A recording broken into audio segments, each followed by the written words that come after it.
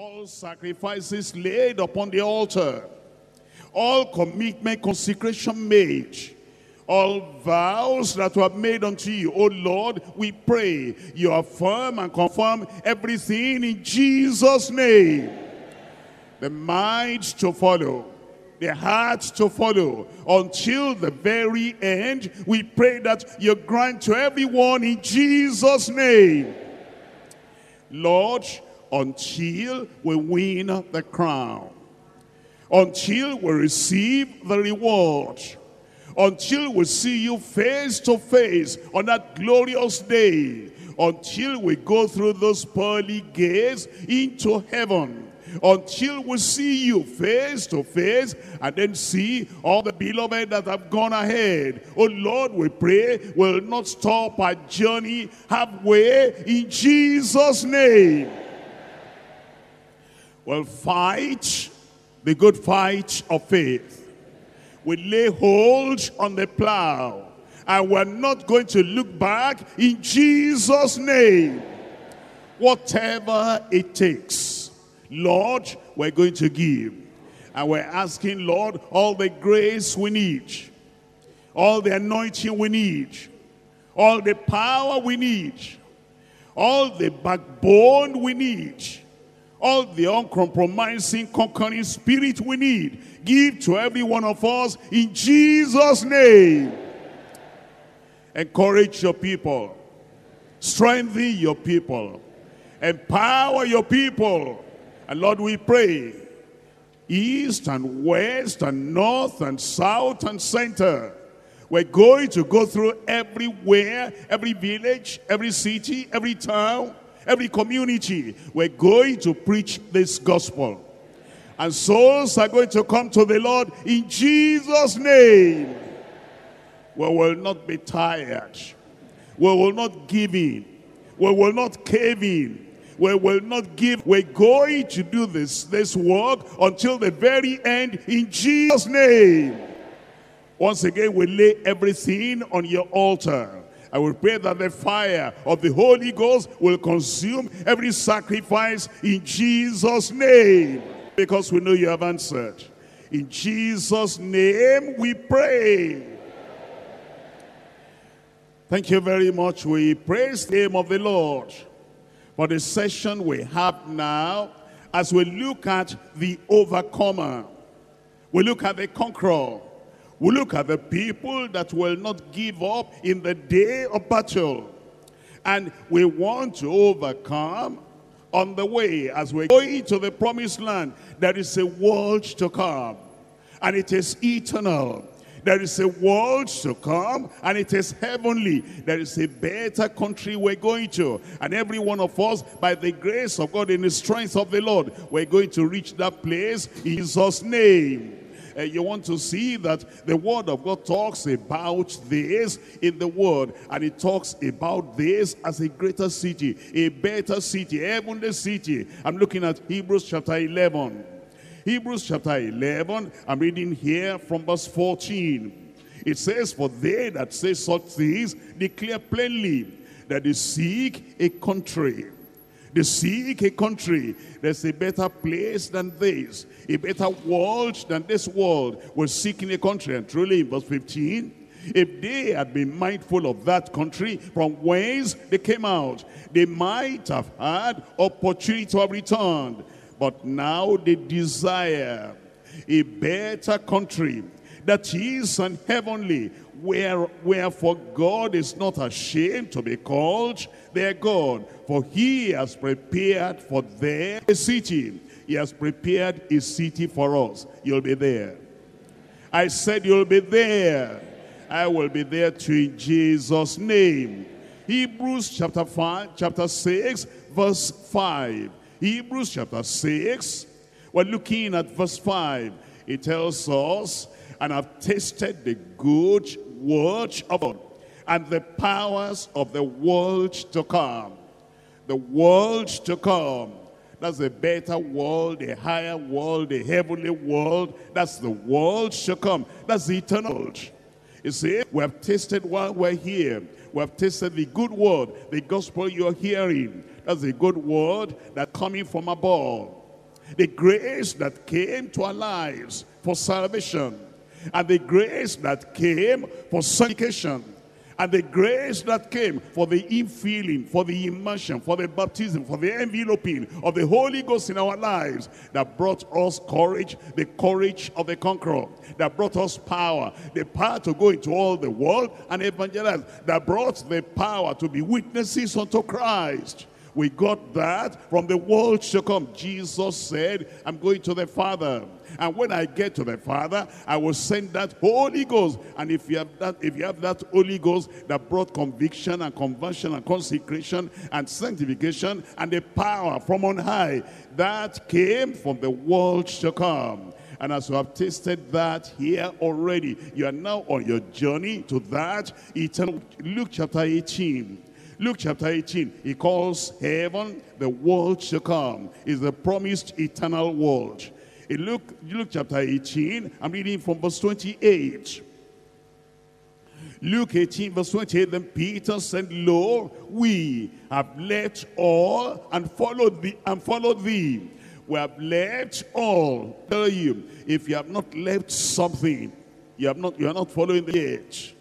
There's something for you to leave behind. And it's not even all, it's not all those things that are evil. Of course, you leave your sin made. But there are some things that are not sinful.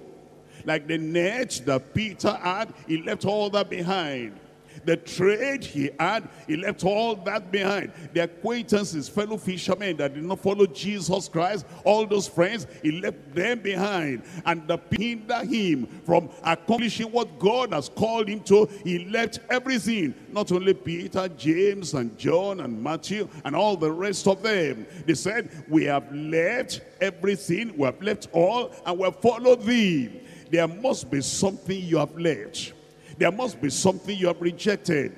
There must be something you have refused. Moses refused something. And all the people that follow after the Lord, there was something they left behind. And I dare challenge you, check up your life. Check up your Christian profession. Have you left something behind? And look at what Jesus said. And he said, Verily I say unto you, there is no man that have left house.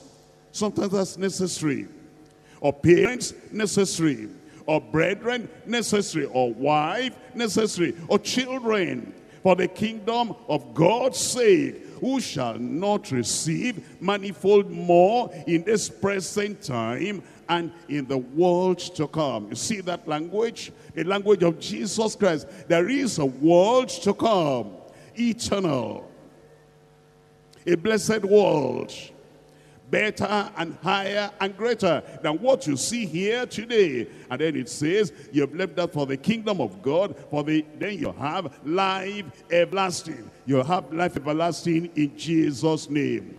That's why as we have gone through the series on the churches, the message to the church in Ephesus, the message to the church in Smyrna, the message to the church in Pergamos, the message to the church in Thyatira, the message to the church in the message to the church in Philadelphia, the message to the church in Laodicea. Absolutely, all through that. We're not summarizing everything. Overcomers in the promised eternal world.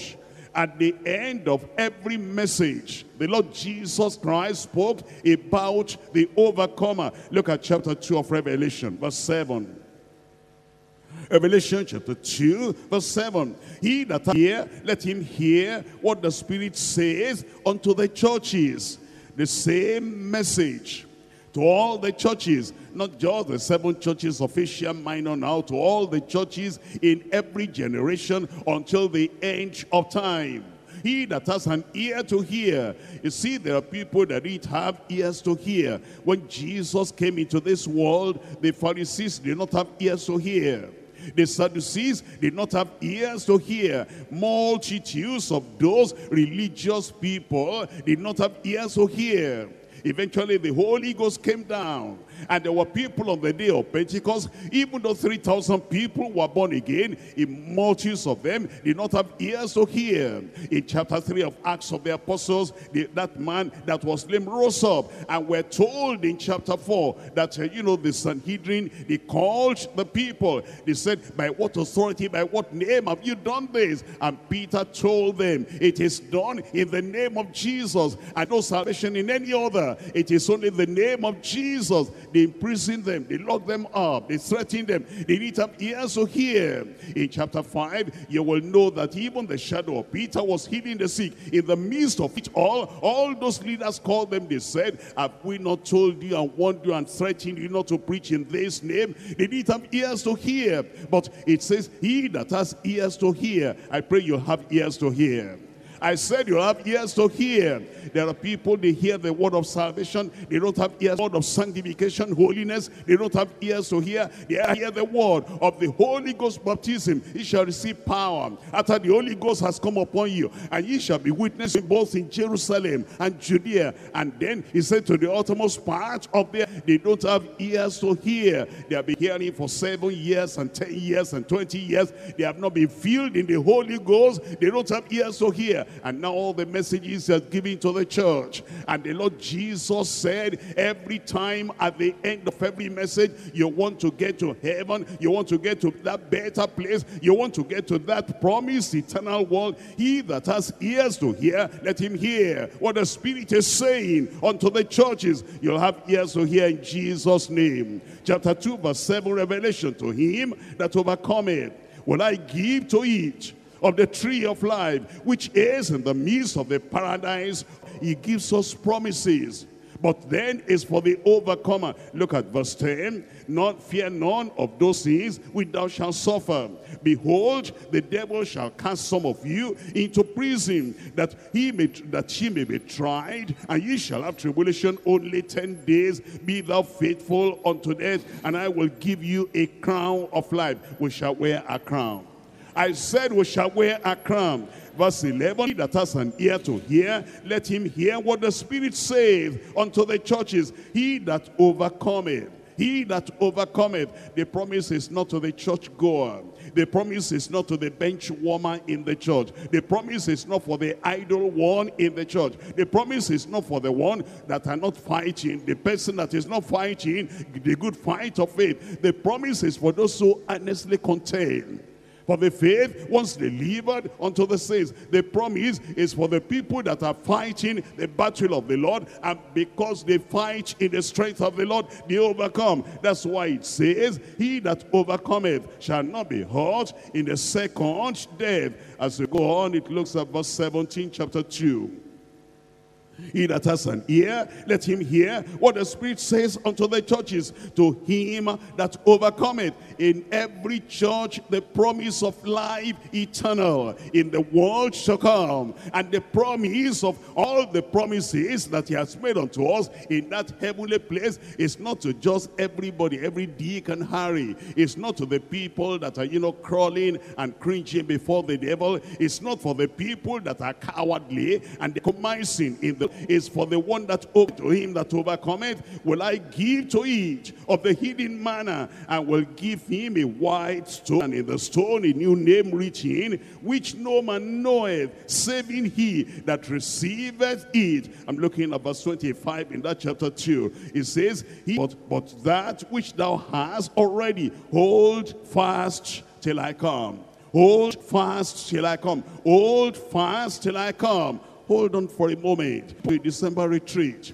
And by the time we're having the covenant Sundays in January, everything they got in December and January, they have lost. There are people that come to all those meetings of, of the covenant in January, and then by the time we're having Easter in March or April, lost everything. There are some people that come to Easter retreat in, in March or April, and by the time you're having revival in May, they have lost everything that they got in March or April. There are people that comes to the workers retreat in a, a time like this at the beginning of August. By the time you call another meeting again in September, they have lost what they have got in August. And he says we hold it firm unto the very end, which means what you get in January will go with you all through in February and March and April to the end of the year and then to the end of your life. There are people do not they do not have a stable conviction that you come to a meeting like this and the convictions you had and the sacrifice you laid on the altar and the decisions that you took. Here is the way I will walk. Here is the way I will live. Here is what my commitment will be. And they cannot hold on to that conviction unto the very end. But Jesus said, the people who are going to get over there in the glory land beyond, they are the people that hold fast until, not just until December, not just until the following year, until I come. And he that overcometh and keepeth my works unto the end.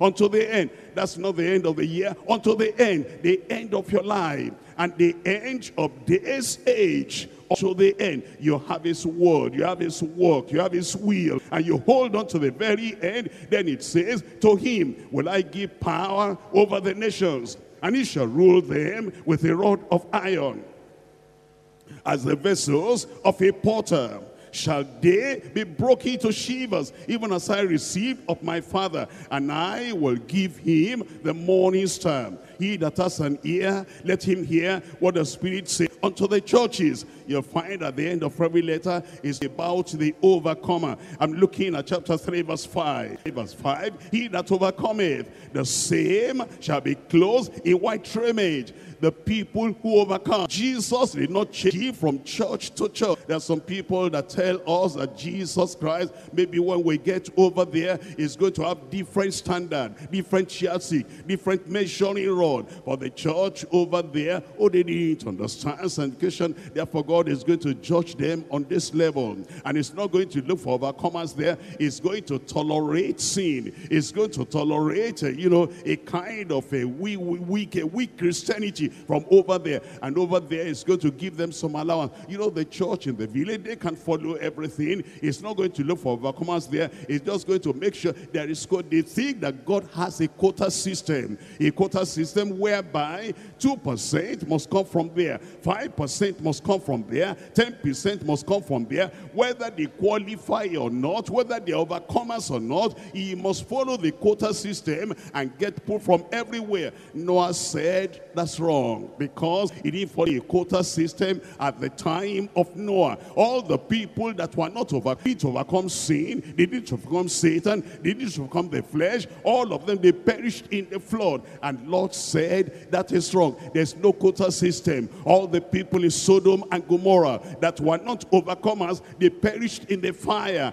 And then Joshua said, there's no quota system. All the people that backslid, even among the children of Israel, they bleach their bones in the wilderness. There is no quota system. Whosoever, whosoever will have a reward on that final day. And he's even going to get there. He must be an overcomer. Look at chapter 3 from verse 5. He that overcometh, the same shall be clothed in white raiment. And I will not blot out his name of the book which I've written, but I will confess his name before my Father and before angels. Chapter 3, Reading from verse 9. In verse 9 it says, Behold, I will make them of the synagogue of Satan, which say they are Jews and are not, but do lie. Behold, I will make them to come and worship before thy feet, and to know that I have loved thee, because thou hast, because thou hast kept the word of my patience. I also will keep thee from the hour of temptation. He will keep you in Jesus' name. I said he will keep us in Jesus' name which shall come upon all the world to trust them that dwell upon the earth. Behold, I come quickly. Behold, very soon. Behold, I'm coming suddenly. Hold that fast which thou hast, that no man take thy crown. Him that overcometh him that overcometh. He cometh pillar in the temple of my God, and he shall go no more out, and I will write upon him the name of my God, and the name of the city of my God, which is New Jerusalem, and which cometh down out of heaven from my God, and I will write upon him my new name. Verse 13, he that has an ear, let him hear what the Spirit saith unto the churches. I pray you have the ear to hear. Verse 21, verse 21, to him that overcometh, even to the church in Laodicea even to the church of the Laodiceans, the people that are local, no hot, you think that Jesus Christ will manage some people there and say, I need candidates for heaven in every place. And whether they are right or not, I can lower the standard for those people so that some will be able to come in. Even the church of the Laodiceans is still the one to him that overcometh will I grant to sit with me in my throne, even as I also overcame and am set down with in his throne. He that, he that has an ear, let him hear what the Spirit says unto the churches. You will hear. You will obey. You'll keep the word of God in Jesus' name. Come on now to the end of Revelation chapter 21. Revelation chapter 21, I'm reading from verse 7. He that overcometh, this is the end of everything now. Great tribulation time over. The great uh, white throne judgment, chapter 20, all over. And the Lord is now introducing the new earth and I saw Jerusalem, New Jerusalem coming from above. And the people that are going to get to that New Jerusalem, it says in verse 7, He that cometh shall inherit all things, and I will be his God, and he shall be my son. What about the people that do not overcome? What about the so fearful? They're so timid and they cannot stand up for the truth. What does he say about them? Look at verse 8, but the fearful, and the unbelieving and the abominable and the murderers and the allmongers and, and all last shall have their part in the lake which burneth with fire and brimstone which is which is the second death. I pray that god will courage your heart in jesus name. The courage to stand and the courage to be forceful and the courage to do the will of God and the courage to follow after the conviction that the Lord has planted in our heart. Courage to obey the word of God all the way through from now until you see the Lord face to face in chapter 22 of Revelation. Revelation 22. I'm reading from verse 12. And behold, I come quickly and my reward is with me to give every man according as his work shall be. I am Alpha and Omega, the beginning and the end, the first and the last. Blessed are they that do his commandments. Blessed, those are the overcomers. Blessed are they that do his commandments, that they may have right to the tree of life and may enter in through the gates into the city. We're talking about the overcomers in the promise eternal world. Each of the epistles, each of the messages from the Lord Jesus Christ to all the churches, each message ends with a promise. A promise to the each promise has been given not only to the overcomers in that particular church, whether it's Ephesus or it's Smyrna or it's a Pergamos or it is Thyatira. It's not only to that particular Sardis and Philadelphia or Laodicea, to all overcomers in every age, in every generation, all overcomers of all the in all the churches from the beginning until Christ returns. They are given this promise of being for overcomers, the condition of inheriting the promises of God is the same for all periods of time and for all believers in the ancient time and also in the modern till the end of time. The unchanging Christ does not be its requirements. The unchanging Christ cannot vary the terms with different churches in places at different times, in different generations, in different nations. It remains constant. I've read it to you. He that overcometh, he that overcometh, he that overcometh, everywhere. It is the same standard. Each message closes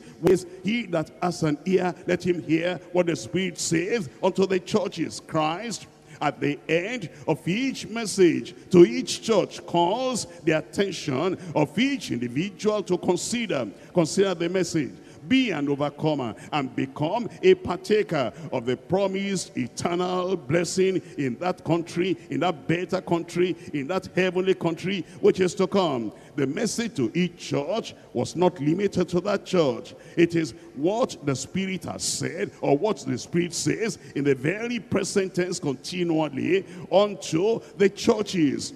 In the first three messages, the Lord Jesus Christ said, He that has an ear to hear, let him hear. After he that overcometh. In the last messages, what begins is to him that overcometh. And after that, he said that those who have ears to hear, let them decide. Let them stand for the truth and let them stand so that they can prevail. And we're going to prevail. We're going to conquer in Jesus' name. Are you there? I said we're going to prevail in Jesus' name. Overcomers. Overcomers. Not those who cringe. Not those who are timid. Not those who are fearful. Not those who cannot confront the world in which they live. Not those who cannot confront the village, the idolatry in that village. Not those who cannot confront the city in which all the promiscuity, all the evil things that they have in that city, they, they, can, they, can, they don't have any backbone. But the overcomers, those are the people. All these promises are meant for. I pray you'll be a partaker of the promises of the Lord in Jesus' name. We're looking at three things. Number one, proper of overcoming character. The proper perspective on overcoming power of overcoming Christians. Overcoming Christians. You'll be an overcoming Christian. I said you'll be an overcoming Christian. Number three, promise paradise for overcomers and conquerors. I'll be a conqueror. I said I'll be a conqueror. You'll be in Jesus' name. Number one, perspectives of an overcoming character. We're looking at Revelation chapter 2 again, verse 7. Revelation chapter 2. Looking at verse 7. It says Revelation chapter 2, verse 7, He that has an ear, let him hear what the Spirit saith unto the churches, to him that overcometh. To him that overcometh, the Lord says, I will give to each of the tree of life which is in the midst of the paradise of God. What did Jesus Christ here mean by saying, to him that overcometh?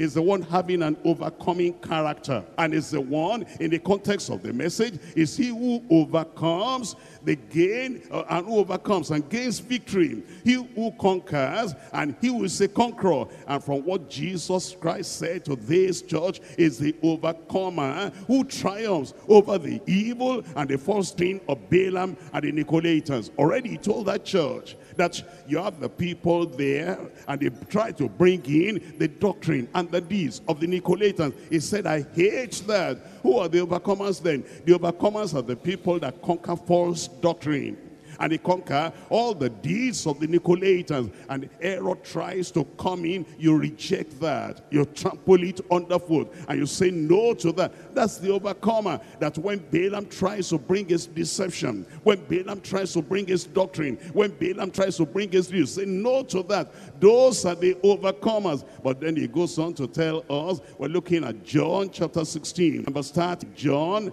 chapter 16, we're looking at verse 33, the overcomers. John chapter 16, looking at verse 33 here. Here is what the Lord is saying about the overcomers. These things I have spoken unto you, that in me ye might have peace in the world, ye tribulation. But be of good cheer, I have come the world. When persecution comes and you keep on standing, that's the overcomer. If persecution comes and then you fall back, Persecution comes, then you cringe. Persecution comes, and then you compromise. Persecution comes, and then you cannot stand. That's not an overcomer. The overcomer is the person that says, here is what I stand for. Jesus Christ is Lord. Here is what I stand for. Jesus Christ is my Savior. Here is what I stand for. Jesus Christ owns me completely because he is my Redeemer. And even though persecution comes and trial comes and tribulation comes from any direction, you keep on standing where you stand that is the overcomer. You'll be an overcomer in Jesus' name. Revelation chapter 3 verse 21. In Revelation chapter 3 at verse 21, the overcomer. Revelation chapter 3, looking at it verse 21. It tells us in verse 21, to him that overcometh will I grant to sit with me in my throne,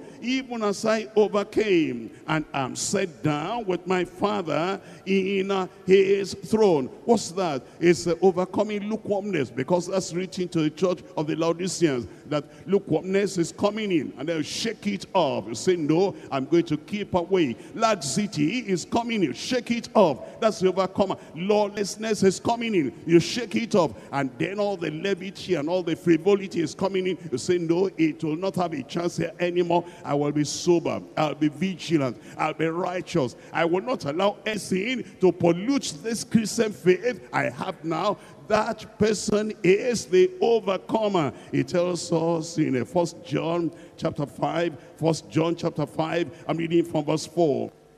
First John chapter 5 verse 4. For whatsoever is born of God, the world. For whatsoever is born of God overcomes the world. Whatever is originating from the world Whatever is emanating from the God, it is presented to you. It may be presented in a very good way, in a very nice way. Why don't you try this? Why don't you examine this? Why don't you take this on board? Why don't you add this to your worship? Why don't you add this to your conviction? Why don't you add this to your ceremonies? It's coming from the world and it's coming from the God of this world and then you overcome that. You put it under your feet to say, it will not place here. They're introducing some books to you. And those books contain ideas of the world, the methods of the world, the ideology of the world, the thing that will sway you away from the Christian faith. And you say, I don't, I'm not even going to send spend God's money to buy any book that's talking of the world because the world is an enemy of God. How can I spend God's money and then purchase that? Anything from all the all the people that are worshiping, but you know, they have a, this idea, they have this idea. They say, you know, you're morally strong, you, you have this and you have this. And then you know that it's coming from those people that do not believe in the Lord. You say, no, I'm not going to spend God's to buy that. Whatsoever is born of God overcomes the world. And this is the victory that overcomes the world, even our faith. Who is he that overcomes the world? But he that believeth that Jesus is the Son of God be an overcomer. You'll be an overcomer in Jesus' name. Romans chapter 12, I'm reading from 1. Romans chapter 12, we're looking at verse 21, a proper perspective concerning the people that have overcoming character. Romans chapter 12, verse 21. Be not, but overcome evil with good. Be not overcome of sin. Overcome sin with righteousness. Be not overcome of fraud covetousness. You overcome covetousness with contentment. Be not overcome of godlessness. Don't let the godlessness in society overcome you. Overcome godlessness, godliness be not overcome of pride. Overcome that pride with humility. All those characteristics, all those ideas, all that evil nature coming from the world, wanting to stamp out your Christian testimony and stamp out your Christian conviction. It says you will not allow all those uh, messy things coming from the world. The grace of God in you, the Spirit of God in you, the power of God in you will overcome all those sins of the the world. That's how we become overcomers. We remain overcomers in Jesus' name. I'm looking at Romans chapter 8 and I'm reading from verse 35. Romans chapter 8, verse 35. The devil will try pressure on you. And the pressure is to make you cringe is to crush you, is to get you out of the way, is to make a nonsense all the promises you made to the Lord, all the covenants you made to the Lord. I will serve the Lord. I will follow the Lord. I will obey the word of God. I'm not going to allow anything to set me back to where I'm coming from. My eyes are set and I'm looking at the goal before me. The devil will try to put some pressure on you so that you will go back on that word. And it is when you overcome that pressure, you are an overcomer. We will be overcomers in Jesus' name. We're looking at Romans chapter 8, verse 35. Who shall separate us from the love of Christ? We love Christ so much, we have willed our lives to him. We love Christ so much, everything we have, everything we ever hope to be, we've given unto the Lord. And then they pray from the devil that, no, you're not serious, you'll not be that committed, you'll not be that consecrated, you'll not give your life to the Lord so much like that. And he try to separate you from the covenant made unto the Lord. It says, so shall us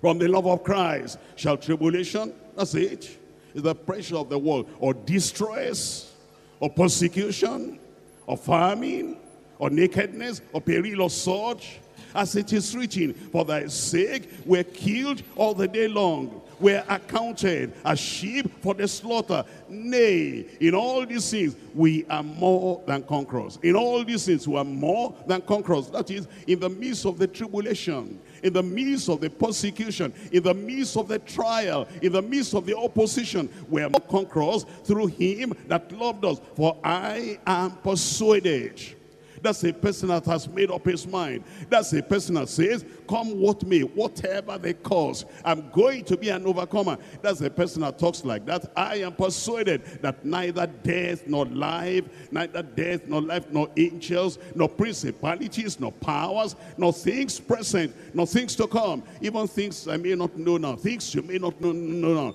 It will come later. And when it comes from any in any shape and in any size, you make up your mind and pursue persuaded that none of those things will separate me from the commitment I've made unto the Lord. It says, no height, nor depth, nor any other creature nor any other creature, nor any other creature. I'm sure you don't love a friend to the point that that friend will take eternal life away from you.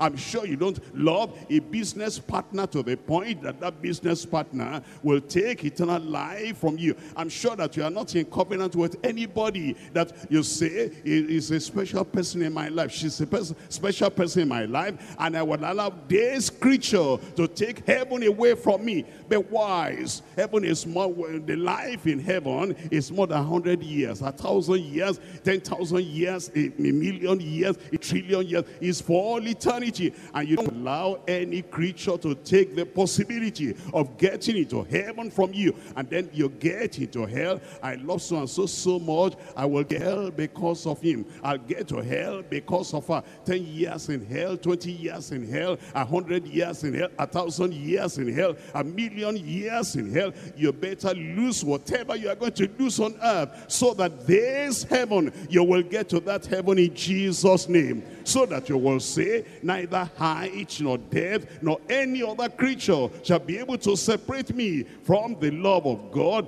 which is in Christ Jesus our Lord. That, that's what it means to be an overcomer. That you lay everything upon the altar and, and you are saying that nothing will take this salvation away from me. Sometimes it's your flesh that wants to take that eternal life away from you, wants you to exalt your flesh above Christ, wants you to exalt the need of the flesh above the need of obeying Christ. That's why Paul the apostle said in First Corinthians chapter 9, First Corinthians chapter 9, and I'm reading from verse 27. It says, but I keep my body under. Uh, you know, sometimes you have to do even that to your body even that to your eyes. Your eyes would like to read almost everything they publish over there in those magazines. Your life, your eyes would like to see all those pictures they publish there in those uh, magazines. And then your eyes would like to see all those uh, things that come up on the internet. But you're making a covenant you are saying, I'm not going to allow all these passing pleasures, all this pornography and everything.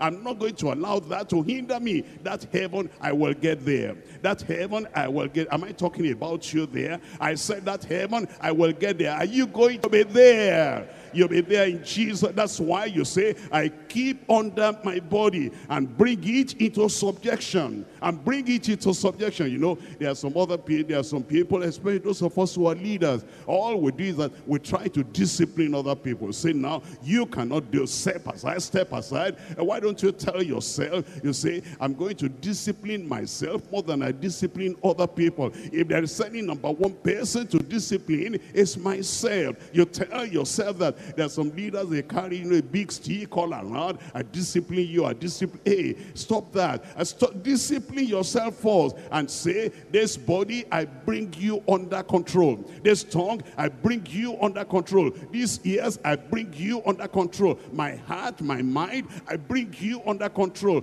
That's what Paul, the apostle said, said before I even talk to other people, sit down there, step aside there. He says, what I'm going to do is I keep under my body and then I bring this body of mine into subjection, lest that by any means, when I preach to others, I myself apostle I myself, a great missionary evangelist. I myself, a great preacher prophet. I myself, a great pastor. I myself, a great person that God used. He went through prison. He went through all those uh, tribulations and all those trials. He went through all those challenges and difficulties. And yet he said, all the suffering in those, in those prisons will not get me to heaven if I don't put my body under subjection. And all the things I have done, all that I have paid, everything I laid upon the altar, if I allow my body to take over, if I allow my body to go into unscriptural kind of pleasure, he says that will not save me on that final day. That's why he said, I put myself under, and then lest after I preach to others, I myself should be a castaway. I pray you'll not be a castaway in Jesus' name. Those are the overcomers. What's the prevailing power of the overcoming character, of the overcoming Christian? The prevailing, the prevailing power. What makes us to overcome? What makes us to have real victory over all those things? We're looking at Revelation chapter 12 and verse 9. Revelation chapter 12, we're looking at verse 9. It says in verse 9, and the great dragon was cast out, that old serpent, called the devil and Satan, which deceiveth the whole world. He was cast out into the earth, and his angels were cast out with him. And I heard a loud voice saying in heaven, Now is come salvation and, and, and strength and the kingdom of God and the power of his Christ. For the accuser of, the, of our brethren is cast down, which accused them before our God day and night and they overcame him. And they overcame him. And the believers overcame him. And the followers of Christ they overcame him by the blood of the lamb and by the word of their testimony. And they loved not their lives unto the death. They said we'll pay whatever price we're going to pay. We're not going to allow the threats of death and the threats of suffering and the threats of imprisonment and the threats of persecution to stop us.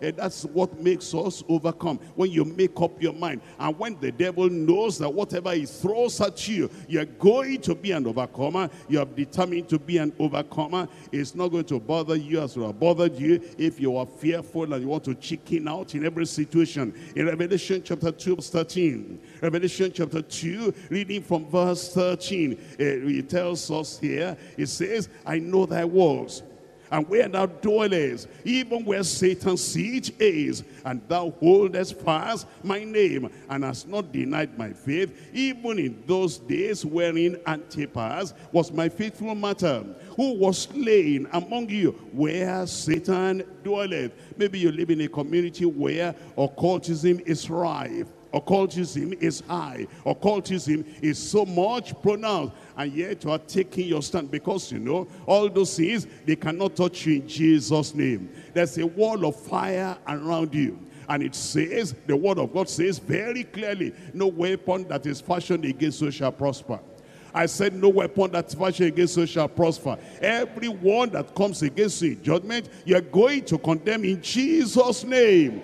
That's why Jesus said, I'm going to give you so much honor, so much respect, so much reverence, and so much power that all those synagogues of Satan, they'll come and bow before you in Jesus' name. But you have to be an overcomer. You have to be an overcomer. I'll be an overcomer in First John chapter 2. First John chapter 2. I'm reading from verse 12. It says, I write unto you little children because your sins are forgiven you for his name's sake. I write unto you verse 13. Fathers, because ye have known him that is from the beginning. I write unto you young men because ye have overcome the wicked one. Ye have overcome the wicked one. You will overcome the wicked one in Jesus' name. The wicked one wants you to sin wants you to backslide, wants you to give up the faith, wants you to kind of adjust the word of God, uh, mutilate the word of God, adulterate the word of God. But you say, no, I'm not going to do that. I'm going to keep it as pure as I've got it. I'm going to keep it as righteous as I've got it. And I'm not going to change the word of God. If anything ought to change, I will change so that I can comply with the word of God. And he says, I write to a young men because ye have overcome the wicked one. I write unto you little children, because ye have known the Father. I write, I have written unto you fathers, because Ye have known him that is from the beginning. I have written unto you, young men, because ye are strong. Ye are strong. Ye are strong, and the word of God abideth in you. That's the prevailing power. When the word of God abides in you, abide in me and let my word abide in you. And then when you pray, you're praying according to the word that's abiding in you. That's how we become more than conquerors. That's how we become overcomers. And then it says, and ye have overcome the wicked one. Verse 15, love not the world it weakens you when you love the world. Love not the world. It makes God to depart from you when you love the world. Love not the world. It gives you guilt and condemnation when you love the world. Love not the world. It makes the devil your master because the devil is the God of this world. And when you love, he says, already you're, under my control. But when you don't love the world, then he will be under your feet. I said he will be under your feet. That's why it says in verse 15, love not the world, neither the things that are in the world. Then it says, if any man love the world, the love of the Father is not in him, for all that is in the world. The lust of the eye, the lust of the flesh, and the lust of the eyes, and the pride of life is of, is of the world, and the world passeth away. The fashion of this world is passing away all the people, all the powerful, mighty things in this world, they are passing away. The politics of the world is passing away. And then it says, he that doeth the will of God abideth forever. That's how to overcome. You do the will of God, you'll abide forever. First John chapter 4 verse 4. First John chapter 4 verse 4. Ye have got little children and have overcome them. How do we overcome them? Because greater is he that is in you than he that is in the world. Greater is he that is in you than he that is in the world. It tells us the weapon of our warfare in Second Corinthians chapter, chapter 10. Second Corinthians chapter 10. I'm reading from verse Second Corinthians chapter 10, looking at it from verse 4. For the weapons of our warfare are not carnal the weapons of warfare are not worldly. The weapons of our warfare are not secular. The weapons of our warfare is not coming from the head. It's not a mental thing, but it's mighty through God to the pulling down of strongholds, casting down imaginations the weapons we have, able to give us a victory, able to make us conquer, because it casts down imaginations and every high thing that exalted itself against the knowledge of God. In the knowledge of God you have got, there are some ideas that will come, exalting itself as if that knowledge now, the new knowledge, the new era, is something that is greater, something that is higher, something that is coming from a higher source. But you are telling the Lord, I know I've got the highest in the gospel gospel. I know I've got the highest the truth of the Lord Jesus Christ. I know I've got the highest thing. Any other thing that comes to confront that truth you have got, it says it will cast down, bring into captivity every thought to the obedience of Christ in Ephesians chapter 6. Ephesians chapter 6, this is how we conquer. This is how we overcome. You put on the whole armor of God. Ephesians chapter 6, I'm reading from verse 10. It says, finally, brethren, my brethren, be strong in the Lord. In the Lord, we can be strong. In the Lord, we're going to be strong. Outside the Lord, you're weak. In yourself, you're weak in all the ideologies of men, you are weak. Here is what makes you strong. It says, finally, my brethren, be strong in the Lord and in the power of his might. When you plunge yourself into the river of the Holy Ghost, when you plunge yourself into the unction of the Holy Ghost, when you envelope yourself in the power of the Holy Ghost, the Holy Spirit is stronger, greater, mightier than any other spirit. Be strong in the Lord then and in the power of his might might. Put on the whole armor of God, that she may be able to stand against the wiles of the devil, against the strategies of the devil, against the maneuvering of the devil, against all those strategies of the devil. When you plunge yourself and you, are, oh, you plunge yourself into the grace of God and you are enveloped by the word and the power of the Lord, you will be strong. Then it says, For we wrestle not against flesh and blood, but against principalities, against powers, and against the rulers of the darkness of this world, against spiritual wickedness in high places. Wherefore take unto you the whole armor of God. Don't say, I can do without that. No, you cannot. I can do without that other armor. You know you cannot. All the total armor, the whole armor of God, it says, take unto you the whole armor of God, that she may be able to withstand in the evil day, and having done all to stand, stand therefore having your loins girt about with truth. We need that truth, that truth. We need the sound doctrine of the word of God. That's what keeps us. That's what keeps us. And it says, it is you girt about yourself with truth. Having on the breastplate of righteousness. We need righteousness. We need godliness. We need holiness. We need sanctification. It says your feet shod with the preparation of the gospel of peace. You are declaring the peace of God and the Prince of Peace and the salvation that brings peace.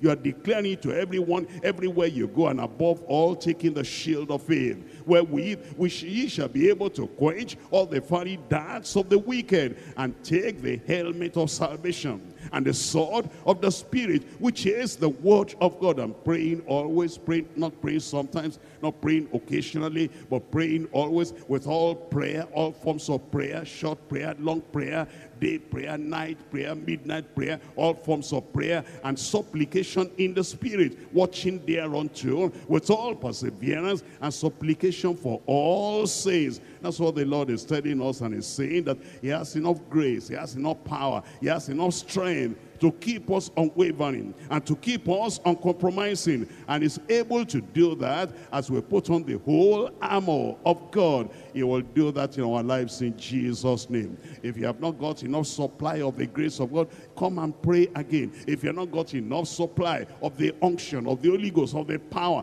the stabilizing power that makes you to stand firm in any situation, all you need to do is get on your knees again and pray to the Lord. And all the abundance of the grace you need will be given unto you in Jesus' name. I come to point number three now. That is the promised paradise to overcomers and conquerors. Promised paradise to overcomers and the conquerors. You see the gains and the profit of living a righteous life, a holy life, an overcoming life, a conquering life. They're very great. In fact, it tells us in, in, in a number of ways. Number one, he says, it's going to give us of the tree of life, which is in the midst of the paradise of God which means you'll get to heaven, you'll get to that paradise, and then all that Adam lost, all that Eve lost, because we are not able to take of that tree of life, the Lord says He's going to give unto us. Number two, He will give us the crown of life, the crown of life. Number three, He will make us escape the hurt and the suffering of the second death. And then that means that all the eternal separation from God that other people are going to experience, and they're going to be in the lake of fire forever and ever, the Lord says there's a possibility of escape so that we will be in fellowship with the Lord forever and ever. Number four, he says there's a hidden manna, angels food that men have not eaten. He says he's going to give that unto us. Number five is a white stone. That is of God's continual eternal approval. That white stone is given to the people that they never face judgment anymore. They are passed from condemnation unto justification. And the Lord says that eternal approval is awaiting you. And we're going to have that approval, that reward in Jesus' name. Number six, it says there's a new name. Number seven, it says there's power over the nations. You'll see reign over two cities and reign over three cities and reign over five cities according as your reward will be. And then number eight is the morning star. That's the glory of the glorified Christ himself that is going to give to the people that overcome. Number nine eternal fellowship with Christ, walking with Christ in white, in, in white over there in the heavenly city and heavenly glory and splendor. Number 10 is Christ's recognition in heaven before his Father. He says, because you confess me here on earth, I will also confess you before my Father in heaven. Number 11 is, uh, is he'll make you a pillar in the temple of his God so that you'll not go out anymore, but forever and ever you'll be with the Lord. Then number 12 is permanent residence in the immediate presence of the Almighty God. Permanent residence in the immediate presence of the Almighty God. And then number 13, privilege of sitting with Christ on the throne. Because you overcome, as he has overcome, he says, you will sit with me on my throne, even as I sit with my Father. Number 14 is inheriting all things, all things belonging to God, all, all through eternity. What a great and glorious eternal future awaits all the overcoming believers in Christ. What a glorious future we have. It is worth the effort to pay the price of overcoming, of overcoming the world, overcoming its temptations, overcoming all easily besetting sins, overcoming and standing firm, unshaking in our faith in Christ until the very end. Look at Revelation chapter 2 verse 7. Revelation chapter 2 verse 7. And see the promise awaiting us, awaiting the overcomers. Revelation chapter 2 verse 7. He that has an ear to hear, let him hear what the Spirit saith unto the churches. And to him that overcometh, to him that overcometh, will I give to eat of the tree of life, which is in the midst of the paradise of God. Chapter 2 and in verse 10. Fear none of those things which thou shalt suffer. Fear none of those things which thou shalt suffer. Fear none of those things which thou shalt suffer. Whatever we suffer today, compare that with Shadrach, Meshach, and Abednego going into the fire of Nebuchadnezzar. What you suffer today is nothing. And compare that with, uh, with Daniel going to the lion's den. What you appear to suffer today is nothing. Compare Paul, the apostle, going to the prison in Philippi. And in all the other places, what you suffer today is nothing. That's why he's saying for all the minor, minor skirmishes that is coming your way, fear none of those uh, things which thou shalt suffer.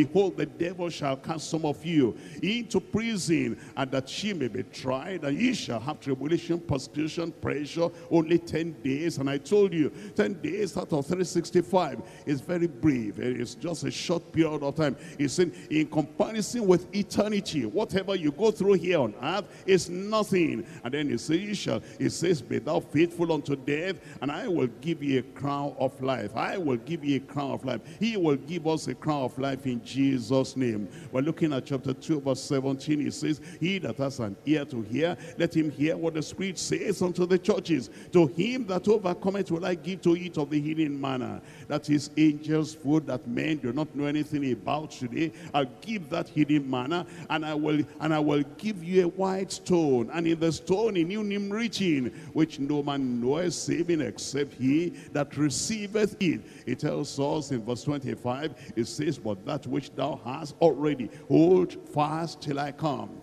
This, these are days of when people, they hold a religion or righteousness or salvation or doctrine or whatever it is the Lord has given them in the church. They hold with loose hand. But the Lord is saying, hold fast until I come. Hold fast until I come. There's some people before they go to school, they're very fervent. But then after getting to school, something blows on them. No fervency anymore. Until I come. There's some people, until they go to, until they get the job, they're very fervent. They go to all the meetings. They believe the Lord. They stand for the Lord. When they get a job, because of the challenges of that job, then they are not holding firm anymore. Some people, before they get married, they hold fast. And then after getting married, something comes upon them. Marriage now is number one. Honeymoon is now number one. Everything about marriage and this and that pleasure is now number one. Hold fast until I come. Some people, when they are looking for children, oh God, give me children, miracle baby, miracle baby, and then they are father, and they are coming to all the meetings. Now baby has come, and all those uh, children, they have now come, and because of that, sister, we're not seeing you again. Pastor, look at my condition. Look at that child, and look at that child. And to make ends meet, they cannot hold fast anymore. Some people, before, before they become workers in the church, they're very fervent. They're, they're all up and running, and then the pastor is looking at them and saying, this fellow looks very serious, very committed. Looks like we need to commit something into a son into our hand. After they have got that thing, then everything now is quiet. All the fervency is gone. All the commitment is gone. But it says you hold fast until I come. Whatever you have got, whatever you are yet to get, hold fast until I come. He that overcometh and keepeth my works unto the end, keepeth my works unto the end. It's a great privilege to work for the Lord. And that privilege of working for the Lord, he wants to you to keep that until he comes. He says to him, will I give power over the nations. He'll make you ruler over the nations. I pray it will happen in Jesus' name. Chapter 3 verse 5. He that overcometh the same shall be clothed in white raiment, and I will not blot out his name out of the book of life, but I will confess his name before my Father and before his angels. You see, when you're holding fast and you'll not compromise, you'll not backslide, it says you'll be there in the book of life for the, you know, until you see him face to face. We're looking at it in verse 8 now of that chapter 3. I know thy works. Behold, I have set before thee and open door, and no man can shut it. For thou hast a little strength, and thou hast kept my word, and hast not denied my name. It says doors of opportunity, not of opportunity for business, opportunity for trade, opportunity for material things. It's talking about opportunity of preaching the gospel, opportunity of reaching out with the word of God. In other place, a door will open in that nation. Somebody needs to go there. A door will open in that community. Another person wants to go there. And as the Lord is opening the doors of opportunity for ministries, we'll get into those ministries in Jesus' name. Look at verse 11. In verse 11 it says, Behold, I come quickly, and it's going to come suddenly. Hold that fast which thou hast, that no man take thy crown. Him that overcometh will I make a pillar in the temple of my God, and he shall no more go out, and I will write upon him the name of my God, and the name of the city of my God, which is New Jerusalem, which cometh down out of heaven from my God, and I will write upon him my new name. What a great privilege we have. In fact, it tells us now as we look at chapter 3, verse 21, to him that overcometh, will I grant to sit with me in my throne what a great privilege. You'll pay anything for that. If uh, maybe the president of a powerful country will invite you that if you fulfill this condition, this condition, that condition, you'll sit with him on the throne in the, you know, in the capital of their country. You, you'll uh, try to do that. You'll try to fulfill the condition. But now, here is the King of Kings and the Lord of Lords. And he says, he's sitting, he's sitting on the throne of the universe. And he's saying, when you overcome, what a privilege that is. You will sit with him on his throne just as he overcame and is seated together with his father on the throne. In fact, he tells us in chapter 21, chapter 21 of Revelation. And I'm reading here from verse 4. Revelation chapter 21 verse 4. And God shall wipe away all tears from their eyes. And there shall be no more death, neither sorrow nor crying, neither shall there be any more pain, for the former things are passed away. And he that sat upon the throne said, Behold, I make all things new. And he said unto me, Write, for these words are true and faithful. And he said unto me, It is done. I am Alpha and Omega, the beginning and the end. I will give unto him that is the thirst of the fountain of the water of life freely. He that overcometh shall inherit all things whatever it is your heart dreams of and your heart, uh, you know, desires. He says, if you overcome here in this world, here in this life, it'll make you to inherit all things. And then in the life to come, you'll inherit all things. And I will be his God, and he shall be my son. You'll overcome in Jesus' name. You have to make up your mind with all these promises the Lord has given us. And all these things are waiting us. That by the grace of God, in the strength of the Lord, you are going to be an overcomer. You'll be an overcomer in Jesus' name. Well, rise up and talk to the Lord. Everything you have got during this uh, retreat, everything that, you know, you have laid on the altar during this uh, workers retreat, so that you'll be an overcomer. We just, we didn't just come and then after we have come there, we go back just like that. We are here. So that by the grace of God, in the strength of the Lord, we will be overcomers for the rest of our lives. Temptation comes, be an overcomer. Trial comes, be an overcomer. Whatever it is, whatever challenge you are facing, when you get back home, when you get back to the place of ministry, you will be an overcomer. You pray and open your mouth and talk to the Lord. Open your mouth and talk to the Lord. Be an overcomer. Be an overcomer. We're asking all our state overseers and region overseers and all the leaders in all those, uh, all the places where we are. You take over now and lead our people in real prayer. Although we're shutting off the, uh, uh, the transmission now, but we are still praying over here at the headquarters. We want to be overcomers and let everybody actually pray so that by the grace of God, everyone will be overcomers. We go to the out fellowship overcomers. We go to women fellowship overcomers. And we go to the youth section overcomers. Children's section overcomers. All the leaders, all the workers in the campus section overcomers. And then in the adult church overcomers. That sin will not overcome us anymore. And evil will not overcome us anymore. We'll go from strength to strength and courage to courage. We'll be overcomers. And as we go in the ministry, this work will prosper in your hand. Open your mouth and pray. We will be overcomers. Open your